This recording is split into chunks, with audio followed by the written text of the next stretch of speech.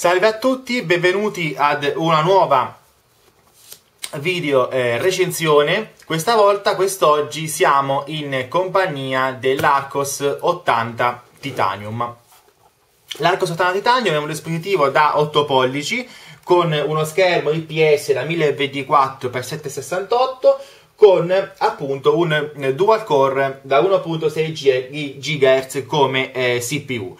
Ehm, per il resto delle varie specifiche che sono già state analizzate, vi rimando all'unboxing del dispositivo che potete trovare sul nostro sito nella sezione apposita. Bene, partiamo subito con il tablet e direi di eh, partire subito dalle considerazioni sulla eh, batteria. Eh, allora, il tablet a mio giudizio ha una batteria leggermente inferiore rispetto ad altri eh, dispositivi. Cioè, eh, che significa inferiore? Nel senso che ehm, altri dispositivi ho visto che hanno durata maggiore. Diciamo che questo dispositivo con un uso, un uso medio intenso direi che eh, all'incirca eh, possiamo coprire 4-5 ore. Direi che il problema principale però si trova più che altro nello stand by. Ehm, perché il, tele, il, tablet in standby a mio giudizio consuma troppo rispetto agli altri eh, competitor. Detto questo, il dispositivo però è davvero valido eh, e andremo a vederlo subito in azione. Andiamo subito su internet a vedere un po' come funziona il browser stock da mm, appunto di Asus e mm, di Arcos. Allora, ehm, andiamo subito su uh, The Verge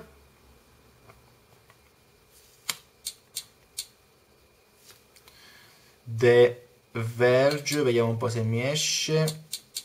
Eccolo qua. The Verge, vediamo un po' com'è il caricamento di The Verge. Nel apriamo anche la nostra pagina, prova cellulari.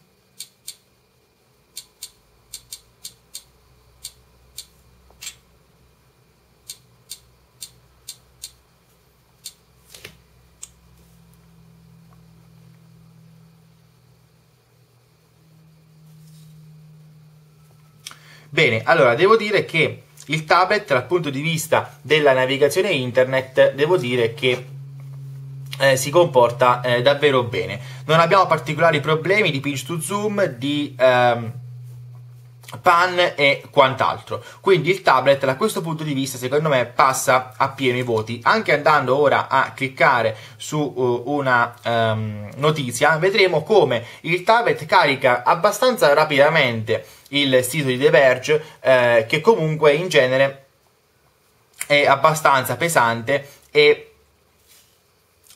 Ecco, è già arrivato e viene reso, il rendering viene fatto abbastanza rapidamente e facendo il doppio tap sul, sull'informazione, cioè sulla, sull'articolo, viene reimpaginato abbastanza bene e in modo abbastanza rapido. Quindi il, un browser che funziona davvero bene. Per quanto riguarda invece il nostro sito, anche il nostro sito, come possiamo vedere, funziona abbastanza bene. Andiamo in questo caso ad aprire l'unboxing proprio dell'Arcos 80 Titanio, quindi eh, di se stesso in sostanza. Ecco, batteria rimanente quasi scarica. Era al 15% di botto è crollato alla, al 4%. Era questo un po' il problema che dicevo io. Mi sembra, ecco, facciamo anche una ricarica praticamente in diretta. E secondo me era questo un po' il problema. Volevo farvi, volevo farvi proprio vedere questo, cioè farvi eh, partire eh, proprio la video recensione dal 15% di carica e far vedere come praticamente il tablet partendo dal 15% in quanto 5 minuti che abbiamo fatto le nostre prove, le nostre video recensioni, praticamente è crollato al 4% e mi dice mettete, metti a caricare il dispositivo. Ecco, questo secondo me è un po' un problema, la batteria non mi ha, secondo non mi ha proprio eh, soddisfatto. Specie quando si arriva sotto al 20%, 13, 14, quindi 16 a 7, la batteria vedo che crolla abbastanza rapidamente. Probabilmente facendo più cicli di carica questo, questo fatto potrebbe anche stabilizzarsi, però sono già stati fatti 3-4 cicli di carica e sinceramente il dispositivo non è migliorato in questa particolarità. Bene, se il browser, abbiamo detto, funziona allora eh, abbastanza bene, anzi direi molto bene, eh, cosa possiamo dire invece della eh, fotocamera? Ecco, eh, la fotocamera, eh, a mio parere, diciamo che fa delle foto eh, discrete, delle foto discrete, non sono eh, eccezionali, secondo me c'è un po' di rumore video, questa macro quando andiamo a zoomare vediamo un po' che i dettagli vanno a perdersi, però diciamo che da un tablet possiamo anche eh, aspettarci questo. C'è da dire però che rispetto ad altri dispositivi la uh, videocamera non è così uh, performante, ecco. Ecco, questo invece è un video che abbiamo realizzato con l'Arcos.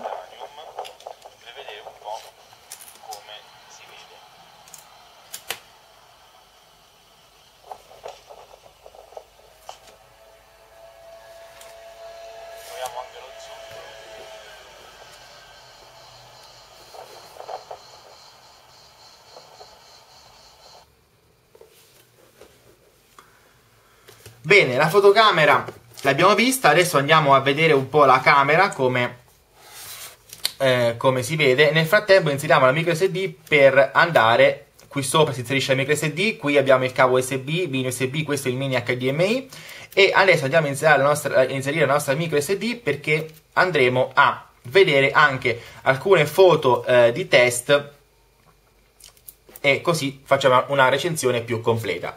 Ecco, questo è il software della camera.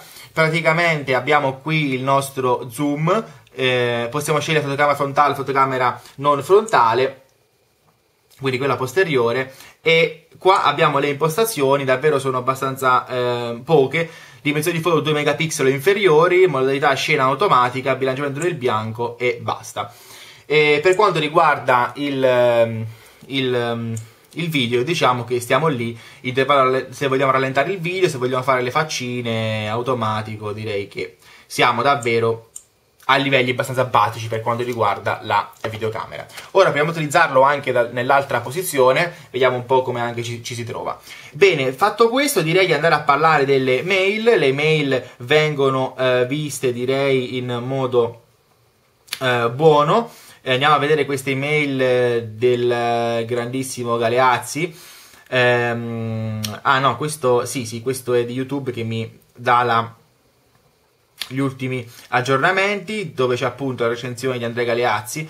Ehm, e ehm, niente, devo dire che il tablet si comporta davvero eh, benissimo eh, dal punto di vista delle email e ah, ecco già che ci siamo possiamo vedere anche come si comporta invece la tastiera ecco la tastiera ehm, direi che è buona, i tasti sono grandi, eh, ehm, si scrive abbastanza bene. Ecco, magari scrivere ehm, tenendo il tablet in mano è un po' più difficile visto che eh, i miei pollici non riescono ad arrivare per esempio alla G, devo fare a questa fila qui di tasti, devo fare un po' di sforzo. Magari es- mettendolo invece in verticale ciò resta più facile e... Um, e permette una scrittura anche più eh, rapida. Bene, detto questo direi che eh, per quanto riguarda il client mail eh, e per quanto riguarda il... Mm, il, il, discorso della scrittura della tastiera non, sono, non ci sono eh, particolari eh, problemi e allora eh, a questo punto direi di andare a vedere come funziona eh, un gioco come Asphalt così vediamo anche un po'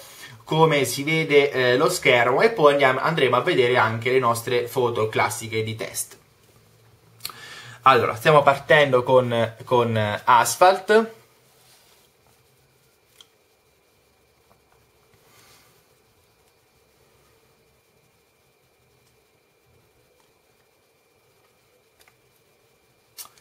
Vediamo un po' come va a comportarsi il tablet. Allora, continuiamo.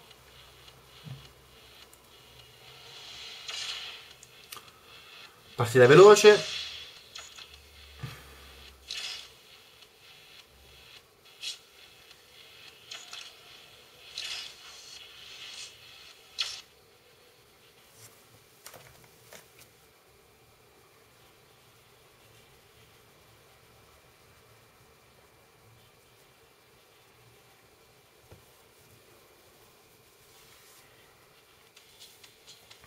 Eccoci che siamo pronti a partire. Allora, abbassiamo un po' il volume.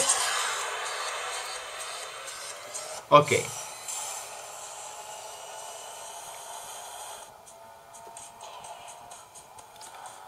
Allora, diciamo che il, il tablet eh, non ha particolari problemi, non... un lievissimo lag iniziale, ma davvero nulla di particolare si gioca davvero abbastanza bene. E anche lo schermo devo dire che eh, gode di una buona eh, visibilità. Quindi direi che dal punto di vista ludico non abbiamo particolari eh, problemi.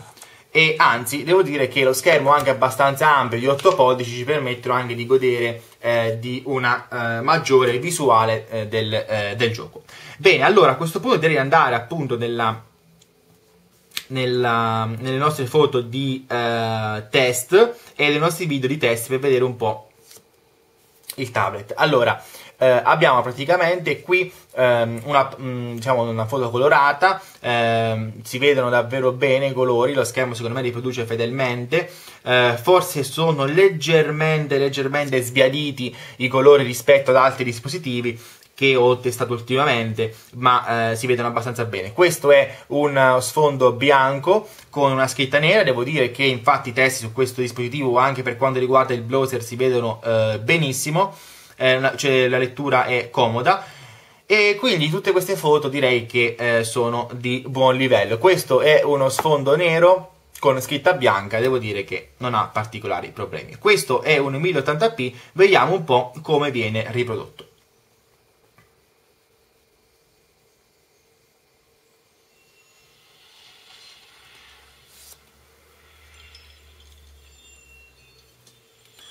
Direi che non ci sono problemi, proviamo a spostarci, vediamo un po' se, se il video ci segue.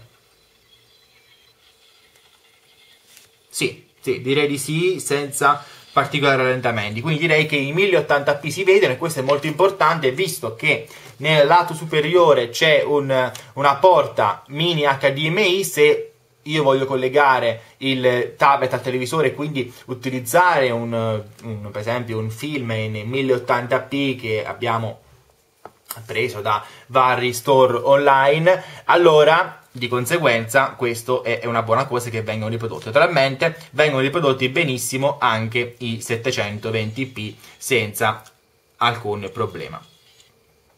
I 480p anche saranno riprodotti bene, quindi senza che ci soffermiamo.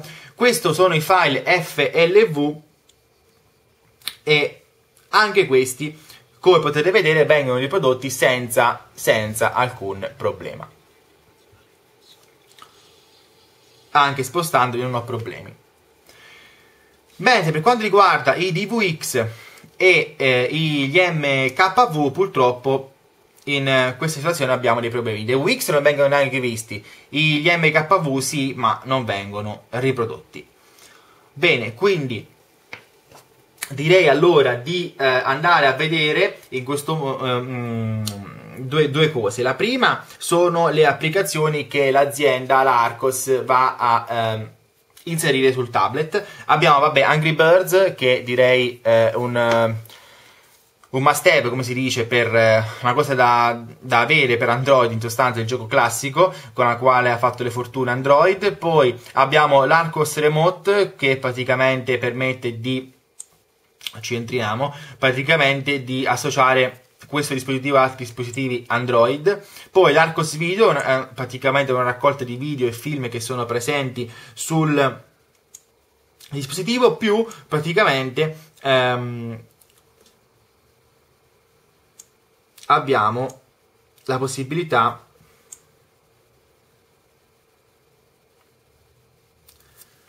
di andare a visualizzare altri video di ehm, di, di, base, di test inseriti dal dispositivo. Poi abbiamo invece BriefMe che invece questa è, è carina. Praticamente è un eh, aggregatore di eh, informazioni riguardanti i social network e quindi può essere eh, settato a piacimento. Poi eh, abbiamo eh, questo, una sorta di archivio, ehm, una sorta di, di, file explorer, di gestione file, proprio dell'Arcos, davvero funziona molto bene. Abbiamo il Flash Player Settings che può essere settato quindi per vedere anche i contenuti in flash sul browser, non tutti i dispositivi ce l'hanno. Poi abbiamo questa un'altra applicazione che a me ha, è, è, piaciuta molto, Monitor di sistema, ci permette appunto di vedere quali applicazioni sono in esecuzione, di chiuderli eh, tutti, di chiuderne uno, di vedere anche gli avvisi, eh, di disinstallare, eh, insomma è un... Mm, è un'applicazione eh, direi molto, molto utile. Eh, per il resto poi abbiamo le cose classiche, qualche altro giochino, Zigno per la musica e per altri acquisti e, e niente più. Direi quindi di concludere eh, il, la, nostra, la nostra videoprova con, una, um, con un sottovedere nelle impostazioni eh, come viene suddivisa la memoria abbiamo 6.36 giga ehm, disp- eh, di disponibili e eh, io le ho occupate una parte quindi 468 sono appunto i eh, disponibili. Eh, e poi andrei un attimo a vedere anche il software eh, installato è il 4.1.1 di Android. Bene fatto questo andrei a fare l'ultima prova cioè l'USB host e vedere, e vedere un po' come si, ehm, come si comporta il tablet in questa situazione. Andiamo a collegare la nostra chiavetta, aspettiamo che la chiavetta venga letta e vediamo se viene appunto eh, riconosciuta. Ecco, mi è uscito USB is mounted, quindi eh, che l'USB è stata letta. E allora a questo punto direi di andare a visualizzarne il contenuto in file e Ecco, vedete, c'è USB che mi permette di andare appunto nella chiavetta. Quindi buono anche il fatto che vengano eh, riconosciute e viste le chiavette. Allora, cosa dire? Il dispositivo si trova eh, ormai a un prezzo, diciamo, intorno ai 130 euro, diciamo, più o meno questo è il prezzo del dispositivo attualmente. E devo dire che per avere uno schermo da 8 pollici per avere uno schermo comunque di, di una buona fattura IPS e mi sembra anche abbastanza luminoso e, e, definito. Per avere un dispositivo che comunque ha una certa eh, linea anche eh, estetica davvero carina e comunque un dispositivo anche che non scricchiola, che non, non ha particolari eh, problemi di eh, costruzione eh, direi che il prezzo è più che sufficiente, è più che, che corretto e anzi un buon rapporto qualità-prezzo per quanto riguarda il dispositivo. Certo, l'unica pecca è forse solo una fotocamera un po' sotto livello e la eh, durata della batteria, però è pur vero che Uh, non utilizziamo mai un tablet, diciamo, per fare foto chissà quanto importanti o professionali in genere e eh, la batteria può essere avviata se comunque non abbiamo una, eh, eh, bisogno di autonomia eh, magari per tutta la giornata del dispositivo. Eh, detto questo, quindi io direi di eh, chiudere il nostro, unbox, il nostro, la nostra videoprova e vi mando al versus che eh, verrà fatto poi con l'altro dispositivo che abbiamo testato in eh, questi giorni, il Galaxy Tab 3, dove si potranno vedere alcune importanti eh, differenze e alcune importanti anche ehm, eh, alcune importanti cose in comune tra i due dispositivi che hanno un costo di, mh, mm, diciamo molto differente, cioè c'è un costo di 100-100 euro e qualcosa di differenza che però bisognerà vedere poi in quel versus vedremo se davvero ne vale la pena spendere questi 100 e passa euro in più per il Samsung Galaxy Tab 3 quindi vi lascio um, alle, ai nostri futuri articoli sul sito, vi, vi, rimando a questo articolo che faremo eh, sul nostro sito introducendo anche le pagelle, le foto che sono state scattate con il dispositivo e eh, vi eh, auguro di rivederci ancora una volta su provacellulari.it. Ciao a tutti, grazie.